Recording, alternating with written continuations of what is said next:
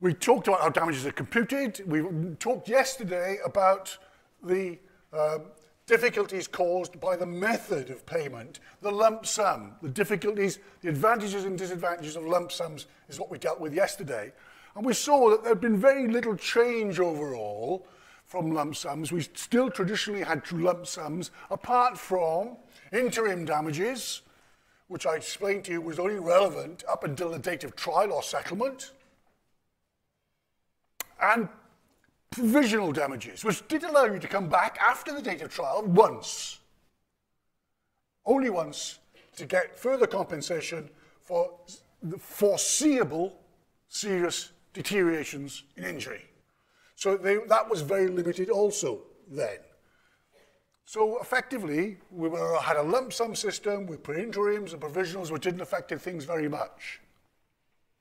Today, we're going to come on to just consider structured settlements stroke periodical payment orders. These are things which have radically affected uh, serious injury compensation since the 1990s, in the last 25 years. The textbooks still haven't quite caught up with a lot of stuff that's going on in practice. And this is, as I explained to you yesterday, a particular interest of mine. It's of particular importance.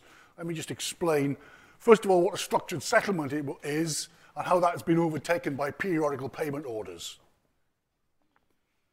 Uh, as you can see there, I, I, wrote a book on this in 1994. Um, a structured settlement, it's an out-of-court agreement to pay damages by means of installments, not lump sum, but periodical payments, as it were, under uh, an out-of-court agreement. And, importantly, they can be fixed for the rest of the claimant's life. No matter how uncertain that was, we could sort it out so you could be guaranteed payments for life. And how it all came about was actually, it wasn't legislation, it wasn't a court case, it was the power of the Inland Revenue. I was fascinated to get a Law Society Gazette, as I used to get regularly on my desk in those days, and a little column in one of the sort of notice columns said the Inland Revenue have agreed that damages arising, uh, the income arising from payment of damages for personal injury is going to be free of tax. I thought, no, that's a, they made a mistake. that must be, that's, that's wrong. I knew that the income that you invest, when you invest money following a, a, a lump sum damages award, the income is taxed. It's investment income. You can't, uh, so, so I, I, question, I, I questioned this, and by that very sort of peculiar happenstance of academia, this very little note in the Gazette, which had no publicity, it wasn't being covered elsewhere, it suddenly turned out the Inland Revenue had an approach made to them by particular accountants who thought they could fix something so that it would be tax-free. And the revenue, at a high level, agreed that tort claimants should get, if they, if they got their money in this particular way, they could be free of tax. What tremendous powers there are in the Inland Revenue. Never explored, of course, in law schools, but at the higher level, it's tremendous policy decisions being made here. Wonderful stuff. So I got into this. I came across Frenkel Topping, the Manchester-based accountants, who were the, forensic accountants, uh, and they, uh, for various reasons, assembled what were almost all the structured settlement cases eventually. I was very much involved in that. So, but it was started by private agreements. It wasn't started by, by, by, by statute. It wasn't started by court cases. It's great what exists outside of the formal legal structure sometimes, isn't it? So, this, how, well, what was happening then? How, how would you set up the financing for this? Well, there's two methods. You could self-fund as a defendant. You could, in the future, agree to pay by means of installments. Now, wait a minute. Defendants agreeing to pay by means of installments? Oh, can we guarantee that? Are we certain that the defendant's going to be solvent in 20, 30 years' time? No, but he's an insurance company. But even if the insurance company's going broke, don't know if we want our client to take that sort of risk. Self-funding is actually to be found almost exclusively in government bodies. The Ministry of Defence, or more particularly, the NHS. The NHS was attracted to, to, to this system of structured settlements because they were able to store up, as I've got down there, store up liability to make future payments, But they would save on current expenditure. They could save money this way in the short term. They were robbing Peter to pay Paul. We're not going to pay you all that big lump sum now. We're going to pay you a small amount of money on a regular basis for the next 30, 40, 50 years. It saves current expenditure. And guess what? I'll come back to this point again. The, the, the uh, Treasury, Gordon Brown's Treasury in particular, liked this idea. They liked the idea of the short-term benefit, the short-term injection of funds into the NHS. They're not going to worry about paying compensation 20 or 30 years down the line because Gordon Brown's no longer going to be Chancellor of the Exchequer 20 or 30 years down the line. Um, and I, have written on, on, on the way in which we are storing up problems for the NHS by, by dealing with structural settlements in this way. But the first method is self-funding. The Ministry of Defence, similarly, and other government bodies uh, are able to take advantage of self-funding. They save cash flow. Uh, uh, but there's another way of funding safely. There's another way in which defendants who are insured can fund this safely. Liability insurers insure the defendants, the road traffic cases, the work accident cases, and they can actually make things secure. They can guarantee the payments for 20 or 30 years down the line. Why? because they can buy an annuity. I know, I know you don't deal with financial terms like annuity, but you should know what an annuity is. They can buy from a life office, a life insurer. Why is, why is it safer having an annuity from a life office? Life offices are much more controlled than liability offices. Life offices are offering to give you money on your death and because of that, government and the state has arranged they are much more financially secure. They have to have reserves. They're heavily controlled because it's easy to run away with the money otherwise, as Charles Dickens and others found back in Victorian times. Starting a life office was an easy way to make quick, fraudulent money. Not anymore. Uh, um, life offices are controlled. They can be guaranteed down the line much more certainly. They will give you an annuity, an income stream bought for, for your life. We associate that with pensions. Everybody who has a pension has a, some, some form of annuity very often, a, a retirement pension at any rate, for the rest of their life. Well, what's the advantages here from claimant's point of view? Well, um, the, one I, the one I'll start with is the one at the bottom, in the sense that when I first saw this, notice in the Law Society Gazette, periodical payments can be free of tax. And I thought, oh, that's not true. It is true. The Inland Revenue agreed this. Unlike the income arising from the investment lump sum, claimants can save money here. The payments are free of tax. But wait a minute, that's not, I think, the most important factor. Um, the most important thing, I think, of all, is this first one I've got up here. They can last for your lifetime, even if that lifetime is uncertain. You can go to a life office and buy an annuity on an impaired life, as they say, and the, the, the, insurance office will gamble as to when you're going to die. They'll take that gamble. You might outlive them, you may, you may die early, but you can buy a guaranteed lifetime income. And that's illustrated by the case of Catherine Kelly. Catherine Kelly was the first case to get to court on structure settlements. Um, she was a 28-year-old nurse living in Manchester with her newly married husband. He was a stonemason. They took the, the ring road around Manchester on the way to work one morning and was they were hit by a negligently driven lorry her husband, who she just married, was killed. The driver of the lorry was killed as well. Um, Catherine suffered very severe injuries, brain injuries and physical injuries. She was bedridden. She had limited knowledge of her surroundings. Her case was taken on her behalf by her father, therefore. Her father was an insurance salesman, in fact. He, he had connections with the insurance industry. And he, he, he was quite a, an admirable man in many ways. Um, he, um, he wasn't interested in inheriting what could be a substantial sum of money on Catherine's death. That, that's, that's He wasn't interested in that. He was concerned that she'd be cared for. Now, he couldn't care for her. She was in a home, a home in Manchester. And he wanted to be sure that there would be money to pay for it in that private care home for the rest of her life. And when it was explained to him that his daughter's life had been very severely impaired, in the claimant's side, his lawyers were saying she could last for many years yet. She could last for, for 30 or 40 years or 30 years or more. Um, the defendants were saying she'll be dead within five or six. They wanted to pay that much less. But a quite big difference between the sides on life expectancy, an irreconcilable difference between the sides. And you could see, if you had a lump sum, there'd be some sort of compromise. And they would meet somewhere in the middle, somewhere, sometime. And that would leave the insurance salesman father with a difficulty. That lump sum might well run out if his daughter survived beyond the projected life expectancy.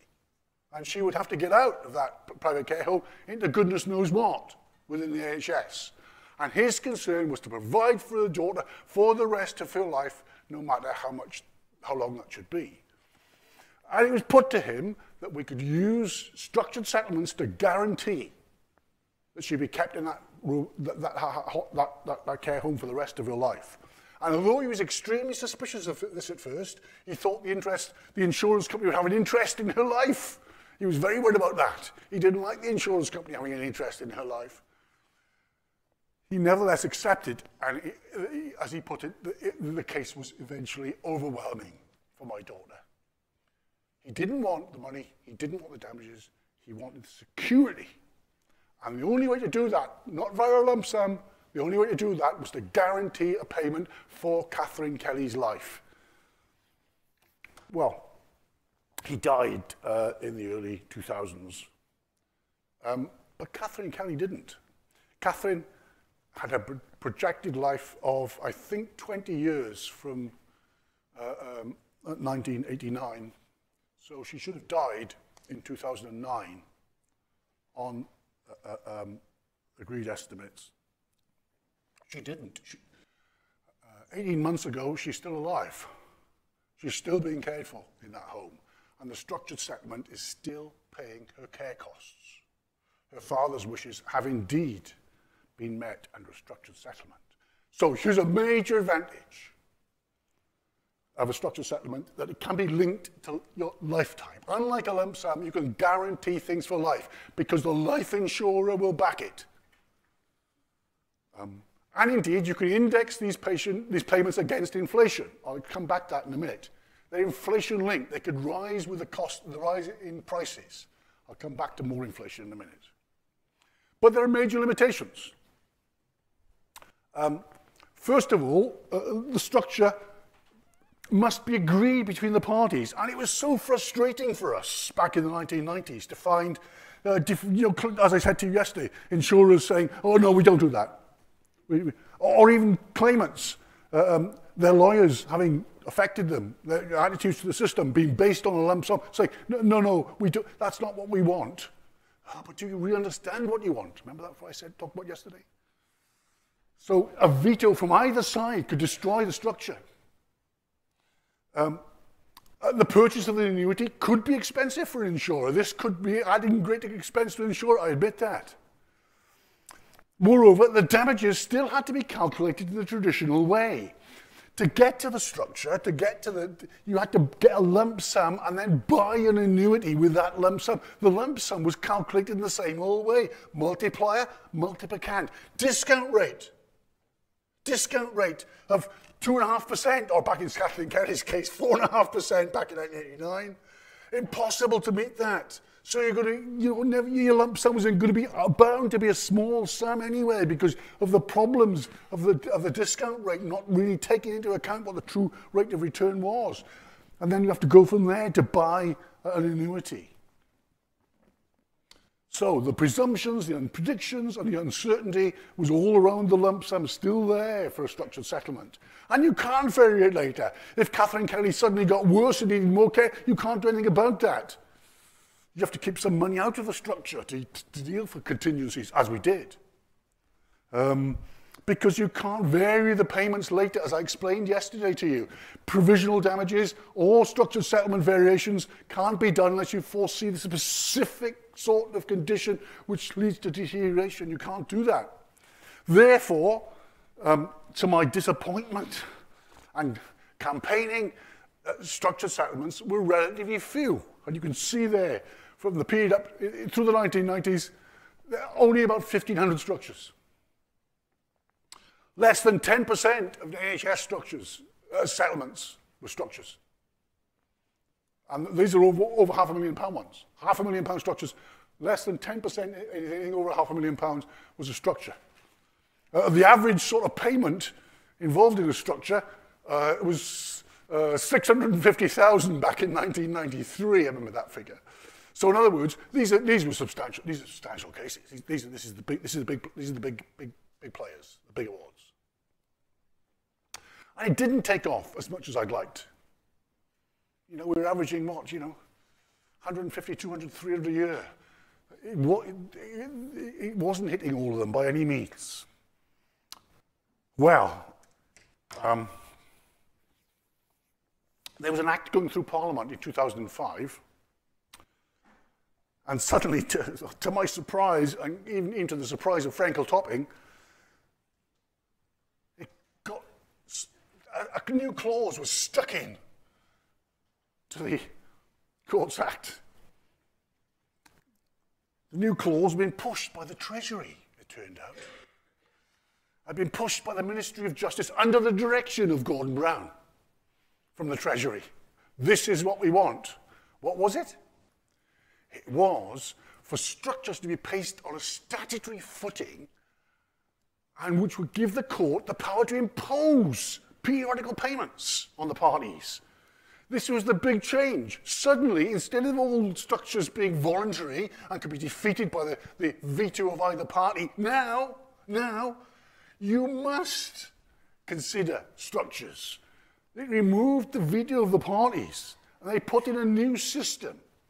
If cases reach court, important point, where you have to consider structures. This, or, or periodical payments, you know. So I wrote, uh, campaigning again, I wrote more stuff. And look at, look at this quote. The personal injury lawyers, the president, I knew quite well at that time, his statement was, this is the most important development ever on damages. And you still will look at you look at your ordinary taught textbooks, your horn books, your nutshells, you'll see nothing about this. But this is a tremendously important reform. Um, and I, I, I said to you, you know, uh, the last three lectures were about the computation of damages, now we're upon the form of damages. Well, it's not quite like that. The form here is actually going to affect the amount you get. Because this change affects not only the level of damages, but will require a new approach to the quantification of claims, said the insurers. Quite rightly. I'll explain that now. Let's go have a look at the Act. The Courts Act 2003, which came into force in 2005. Under the Act, the courts can, court can impose a periodical payment order on the parties. Even if they object, even if both of them object, the judge still can impose, and he has done before now, saying, no, you should have a periodical payment order. It's best for you. I know you don't want it, but you should have it. Indeed, the judge must consider periodical payment cases in all cases of future pecuniary loss. Now, I told you yesterday, future pecuniary loss is relatively rare. The system's awash with small claims. I, I gave you the figure yesterday, 93% of cases do not have future pecuniary loss because it's all shock and shake, £5,000 whiplash injuries. But in any case which has future pecuniary loss, any serious catastrophic injury case, the court, if it gets to court, and sometimes you have to go to court, if your client is, is, is, is mentally incapable of running a case itself, it has to be improve, approved by a judge anyway. You've got to go before a judge anyway to get approval, no matter what, how good your deal is. And the judge is then open to asking you, well, why haven't you considered structures? Why haven't you considered periodic payments orders? Have you got to consider periodic payment, payment orders now?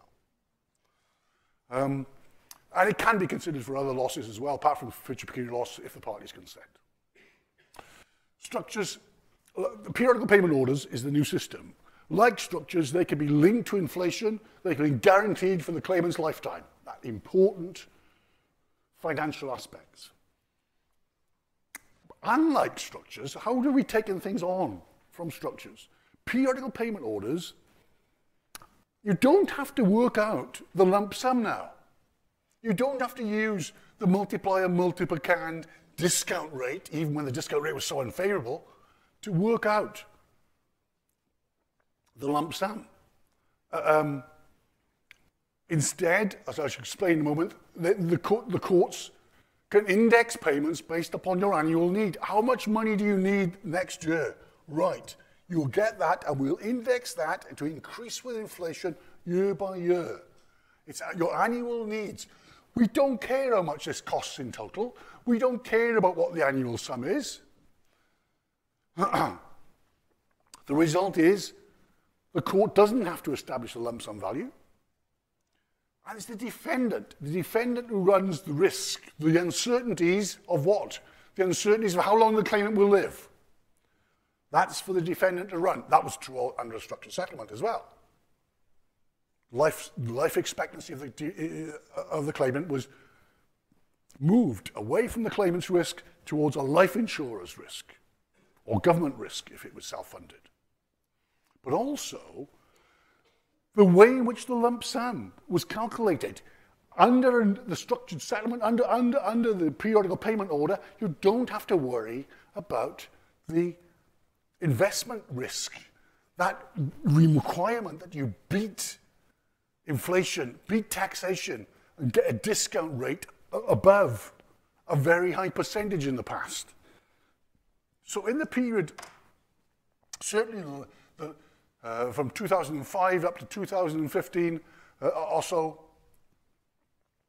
working with a you know very difficult discount rate, you can see the advantages of a lump sum. As a, as a claimant lawyer, why should you involve yourself with a, a, a, a discount rate of 2.5% when it was very difficult to achieve that discount rate over and above inflation? You'd have to get a rate of return of 6 or 7% in safe investments. Don't, don't, don't give your client that risk. Don't put him into, into the stock exchange. You know how risky that could be if it's Black Wednesday or Black Friday or the recession of 2008. No, no, no, no. Give him the safety and security of a periodical payment system which gives the risk, transfers the risk from your client to an insurance company. So especially with a high discount rate, you can avoid the disadvantage of the old 2.5 discount rate. Um, now, we knew the discount rate was going to change for some time. There have been a lot of inquiries. I was involved in the Ministry of Justice papers on this uh, from about 2010 onwards. And that sort of threw planning blight on, on the tort system. There were a lot of big cases, mega lump sum cases, where the, the lawyers were going, well, we, we can't settle this one now. We've got to wait and see what the Ministry of Justice are going to change. If they're going to change that discount rate in favour of claimants, if they're going to move that 2.5% down, and there were arguments for minus one, not plus two, that could, that could treble the damages. Christ, we can't settle that case today. We'll just hang this around for a few more years. We've got to. We can't settle it. It's not fair on our clients. But we could go to them and say, ah, but a periodical payment system will avoid that. If you go for a periodical payment order, you can avoid, you can settle your case now. You're going to get away from the disadvantages. Now, I will, will say to you, since the discount rate has changed, very much in favor of claimants, what do you think has happened to periodical payment orders? Now the discount rate is down to minus 0.25. It's a discouragement to periodical payment orders. It's a, it's a, it's a move in favor of the lump sum. Whereas the lump sum was so disadvantageous when it had a high discount rate, now the discount rate has been changed, we're moving back a little bit towards favoring the lump sum. Although all this topsy-turviness on the discount rate, all this uncertainty has created a sort of planning blight at times in, in the high-value catastrophic injury cases. They're just not settling the cases as quickly as they should be because they're trying to work out, will this change very soon? Now we're told this is not going to change very soon. It's going to be another three years before they look at this. So we've got rid of the planning blight. What's going to affect whether the court will make a periodical payment order?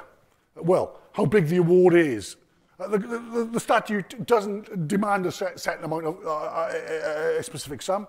Indeed, uh, we did one very small settlement for, I think it was, a, it was 80 or 90,000, I forgot, a very small sum of money for a very old lady who wasn't expected to live all that long anyway, uh, uh, for her uh, care home costs. Um, that was the smallest I've, I've seen. Um, uh, um, but generally, we're talking about uh, seven-figure sums, million pounds or so, uh, minimum uh, in most cases. It does depend upon the claimant's wishes, but the claimant's wishes, if he doesn't want a structure, uh, a settlement, a periodical payment order, he may have to put up with it. But his wishes are relevant. What are the claimant's yearly needs? Well, this approach to yearly needs is said to be different. In, in, in the total lump sum system, we take a, um, a, to, a top-down approach. We work out what the total lump sum is, and then we, we then work out how much you can get from that on an annual basis. That's the, that's the top-down, from the lump sum down. Instead of that, under, under a periodical payment order, we work on the yearly need and work up. It, that doesn't sound to be all, all that different, but I can assure you it is. The bottom up approach focuses upon the claimant's annual needs, much more specifically than the top-down approach. Um, sometimes the pension may not be enough to cope for the immediate care need, in which case you give the people a lump sum.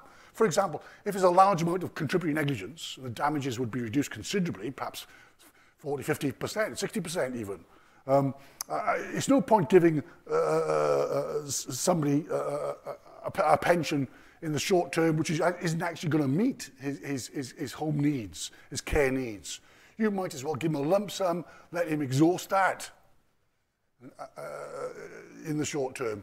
So it'll depend upon what's good for the client with the cash that is available. Variation of payments. Um, uh, uh, uh, uh variation of payments.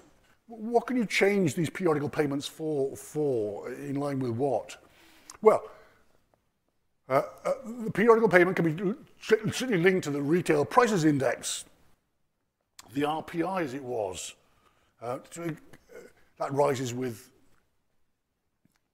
costs in prices, with the rise in prices. But here's an important case. 10 years ago, I was on the periphery of. The person who was really involved was Vicky Wass, professor, recently retired to pursue her own uh, job as a court expert. Recently retired from the, the business school, lectured in this little theatre until last year. Vicky was involved in this major, major case of Tameside and Thompstone's. I wrote a long article about it. What was the issue there? The issue was care costs. Care costs and the rising in prices the, the cost of someone's care in long term in a home depends not so much on rising in prices as the rise in earnings. The carer's earnings is the important factor. Don't tie the index to the rise in prices because generally um, uh, uh earnings will exceed prices by about 2%. And with relation to, and, and Vicky had considerable expertise to look at all the labour statistics, and she was able to divide up the labour statistics to have a special section dealing with the earnings of carers. She's an absolute expert on working out these stats and finding a specific index for carers. And she showed that carers' earnings were likely to rise faster than ordinary uh, workers for various reasons. And in Tameside, The lawyers used Vicky to argue that future wages of carers will be higher than the rise in prices. As I got down, your wages usually rise by 2% a year, but carers' wage, wages would rise higher than that. It didn't, actually, from after the recession for a while, between I think 2011, 14, 2012, 13, 14. But actually, to this year, you can see for 2019, the wages have increased generally in the country by 3.4%. there's been a price increase of only 1.8. And we can generally, I think, expect wages to rise by, by about 2% more than prices each year. And you compound that over 20 years, that is a tremendous difference in damages. And in the Thompstone case, the lawyers said we shouldn't be using the RPI, we shouldn't be using the retail prices index. We've got another index found for us by our expert. Here it is, and it's worth to us millions of pounds. And you're going to have to pay millions more. And that succeeded. The Thompstone case was a major landmark in care cases for injury, where you could vary not only according to the price index, but now according to the wage index of specific groups of people like carers. Um, what else can you vary for? Well, not a lot. Outside of those, uh, those costs indexes, Medically, medical uh, deterioration, as we've seen, it's very limited, isn't it? You can only revise for medical deterioration if it's a serious deterioration which has been specifically foreseen. Remember that? And you can only come back once. Remember all that from yesterday on the variation? So medical, so there's still a problem. If your client unexpectedly or generally deteriorates, you may need to keep back some money in a capital fund to account for that.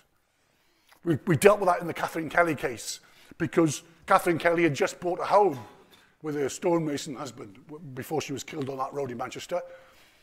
Uh, uh and she was never going to live there ever again. So we were able to sell the home for a capital sum, which was a fairly substantial reserve. So although she had a, a, a, uh, uh, an annuity to pay for her care costs in, in, in the care home, we also had a capital sum to provide for un some uncertainties which occurred as well. And you would normally do that in a, a periodical payment case. You keep back some of this money in the form of a lump sum. You can vary uh, the periodical payment orders for other reasons. I won't go into it now. Um, it's just very difficult to do. Um, um, if you expect, oh, shall I go into it? Um, if you've got time, uh, if you if you could be expected to be uh, uh, at the age of 18 to leave your parents, uh, to move into your own independent accommodation, uh, even as a disabled person, then, then your costs are going to increase. You're not going to be looked after in the same way by your parents as you were before. You're looking for independent living.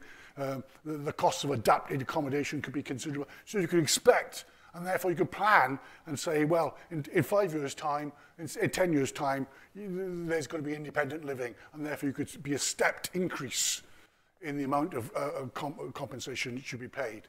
And so as long as you foresee that, you can build that in. Uh, otherwise, the court has to, you, you still got to exercise clairvoyant powers. You've got to be looking into the future and making these plans. Because if you don't plan it, that's it. You don't get it. You've got to take into account what the changes could be and plan for them. Uh, I, I wrote articles on this in the past. Uh, here's a, a summary of the conclusions from uh, an article written in the Modern Law Review, actually, the leading UK law journal in 2006. It's a major reform that affects all injury cases. I was telling the academics, look, this is big stuff. It undermines traditional approaches to damages because it gets rid of the discount rate. Not that the many tort academics talked about discount rates all that much.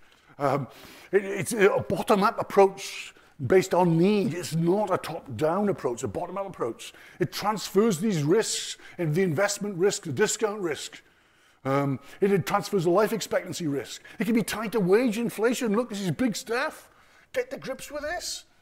Um, um, mind you, how have, how have personal injury practitioners used this law? Um, well, they haven't always pushed for a, for a, a periodical payment order how some lawyers, smart, specialist claimant lawyers, have used this law is by saying to insurers, you know what, unless you give us more money, we're going to go for a periodical payment order. You don't like periodical payment orders, do you? You've got to keep your books open for a long time. You've got to go away and buy annuities. The annuities can be expensive. This is going to cost you. But if you, you can buy us off, you can settle this case, but we want half a million more than you're offering we'll take the lump sum. And that's been happening. Insurers have been encouraged to pay higher lump sums to buy off the threat of a PPO. Um, insurers pay more, claimants get more. These are my conclusions from the MLR. Um, government bodies, government bodies, especially the NHS, benefit by in the sense that they save cash flow. They save in the short term. But, as I pointed out on other occasions, the NHS are storing up problems. They've got pension liabilities now, and they have to continue with those pension liabilities. And you just wonder how well the NHS are funded, don't you? That these are just going to cause long-term problems for the NHS. But the Treasury has an interest in tort damages. The Treasury affected the law of tort. Did you, did, did, did you, were you interested this week? Some of my groups weren't all that interested and should have been. We did employers' liability this week. We're still doing it, some of you, aren't we? Um, and I was quite keen to say, look, you know, the 2000 Act, 2013 Act, the Enterprise Liability Act, where David Cameron abolishes breach of statutory duty, look, that was a direct political response of the Conservative Party to compensation culture. That was a direct response to them wanting to get rid of red tape, to get rid of the flood of claims, which weren't happening, and false claims, there weren't many. It was a political act to please the Daily Mail. yeah? Is tort affected by politics? Yes, it's affected by politics. We're in a law and politics department. You'd expect me to say that, but you try, and, you try and find out any of that analysis. Even in the best textbooks, you will not find much of a law and politics analysis of, of, of tort. But I can assure you it exists. It existed for the 2013 Act. It existed in relation to the 2003 Act as well, the Courts Act tort is affected by political attitudes and political views and uh, by politicians. So, yes, okay, I've droned on about it, but the study reveals the political dimension of tort reform. I actually called it the politics and economics of tort law. And the straight law schools thought, oh, it's nothing to do with us then. um, well, what's the merits of a structure in periodic paper? So I just go over the summary of the benefits and, and, and, and, and problems again. What's the benefits for a claimant? You, you're moving back to a, the, the pre-accident position, aren't you? You're, you're, you're replacing a lost income with a continuing payment. It looks better than a lump sum. It's a closer return to the pre-accident position. You've got security of the against the life expectation risk the one I've been emphasizing so much. Life expectancy is secured. And investment security. You don't have to worry about the stock exchange. You don't have to worry about uh, um, uh, the discount rate. Uh, the, you, you don't have to worry about the lump sum and managing a lump sum larger than you'll ever see in the course of your lifetime otherwise. You don't, you don't have to be frightened like that anymore. We can remove that frightened attitudes of claimants. It's going to be tax-free. All students come on this. It's not such a big deal as you think it might be. But it still is important. It's a tax-free uh, income that arises. Uh, indeed, we, you can actually fix this to, to enable you to get means-tested social security benefits. You don't actually own the fund. It's not your fund. Um, you may be benefiting from the monies, but actually it may also preserve certain social security benefits for you as well. I won't go into that sort of social security stroke tax planning, uh, but I'll just have to take my word for it. Um, and it prevents you, prevents you being broke. Uh, you know, the capital is tied up. You can't be spent by relatives and friends. Uh, it can't be lost in risky investments or by feckless claimants. If you're broke, you're only broke for a month, as I said yesterday. What's the disadvantages for the claimant? Ah, no, there are disadvantages. If you die early, you're going to get less money, effectively. I mean, you could say to me, well, who cares, he's dead.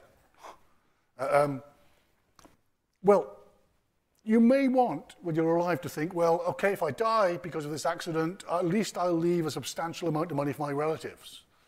Uh, this won't happen so much under, under a structured settlement or a periodical payment order. There'll be no windfall payments um, um, because insurers are taking the bet. The insurers are working out when you should die. And if they get it wrong, if you outlive the life expectancy, that costs them money. They've got to pay when you weren't expected to be alive. For that, they must benefit for, from early death. we can actually still protect relatives, actually, by setting up certain guarantees. Uh, uh, you, you, you get less of a pension, you get less regular payments, but we can guarantee a minimum of payments. For example, if you've got child, children who are dependent upon you for the next 10 years in education terms, you might want to make sure that if you die within the next five years or so, that the payments will be guaranteed for 10 years so your kids get the money so they get to be, go to university and so on. And that can be arranged. What are the disadvantages? Well, betting on the stock market um, can be more profitable. It depends. It's a risky investment. It's a worrying investment. In that sort of thing, or would you rather safety of a regular payment, which you don't have to worry about? Most people take the regular payments, but they can get lower returns than you would from uh, a very good person who got involved in the stock market. And you, you can no longer control your lump sum. And if there's unexpected increases in costs, that can be dealt with under a lump sum. It's much more difficult under a periodical payment. You've got to keep a reserve.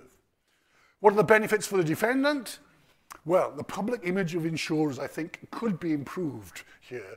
Um, instead of being seen to wash their hands of the claimant and get rid of him, um, uh, no, there's a sort of continuing care element. The insurer's still involved. The insurer's still making payments in the long term. Um, it's, it's more of a caring insurer. Maybe there's something in the public uh, image of insurers which could be improved, perhaps. I don't know.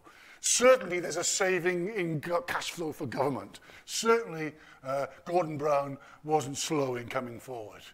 Um, um, they can self-fund the payments. The Ministry of Defence and the NHS being the two biggest government bodies, they have certainly been involved in payments of large damages awards in this way. When would you consider a, a structured settlement or a periodical payment then? Well, let me go over this again. A, when there's serious injury. B, when there's higher rate tax, because the tax saving is that much better. Of course, high rates of tax are very possible in serious injury cases because the damages awards, they can be many millions of pounds. You could be pay, easily be paying the higher tax bracket. You could be easily be hit by uh, capital gains tax, for example. You can avoid those sorts of taxes. The higher the tax rate you're subject to, the, the better it is to move it into periodical payments. Uh, if you already have a lump sum, as Catherine Kelly did from the sale of her house, you don't need yet more periodic, more, more lump sums. Periodical payments will do. Um, if your life expectancy is disputed or, or, or reduced, ah, this is, a, this is an area where you actually bring together. Say, I've seen parties distantly apart. One saying you'll be dead soon, the defendant saying, and the claimant saying, no, you'll live for another 30 years. That's irreconcilable, absolutely unimaginable dif difference between the parties. And you say, don't worry about that, lad. We'll send it off to a life office. We'll get an impaired court and we'll take it from there. And they'll take the risk of that. Oh, fantastic. Got rid of the dispute already. Amazing in, in, in bringing people together on life expectancy. Um, if long-term care is the major concern, if, the, if your client's never going to move out of those care home, you're not going to be worried about what, you know, how he would have spent money on his holidays or whatever. Um, uh, if long-term care is the major concern, this is good. If you want to avoid the stress of investment management, this is good. If the claimant's unable to manage his affairs, then he's not going to want to gamble on the stock exchange. All those things mean structured settlements or periodical payments are especially valuable in those circumstances. I'll finish off with the criticisms. It's still only a limited reform of the system. Yeah, it's continuing inflation-proof payments for life, but you've still got forecasts of need. And they can be wrong later. You, you don't, it doesn't allow for the variations, unforeseen variations, deteriorations, unforeseen medical or economic circumstances are still difficult to deal with. Um, and structures still tie themselves up to traditional methods, including the discount rate. So there's still problems it's still tied to the lump sum to some extent, and you still can't vary it as much as you'd like. What would Atiyah say? This reform affects only a small minority of tort claimants. Most claimants are small injuries, minor injuries. I don't think Atiyah would worry too much about them. You'd be happily not pay the small injuries, the minor injuries, the whiplash claims. Uh, um, but we're just dealing with a small number of tort claimants in structured settlements and periodical payment orders. Would, you, would he spend tax money, because it's government money that's being paid here because of the tax breaks that exist, or it's insurers' money that's been paid because of the higher cost of annuities. We're all paying for this. Would he spend the money on those who are already in the tort system? I think he'd be very worried about that. He would want some compensation to be paid to a more egalitarian system, which he doesn't discuss. He would want the money to be paid for the disabled as a whole in some shape or form via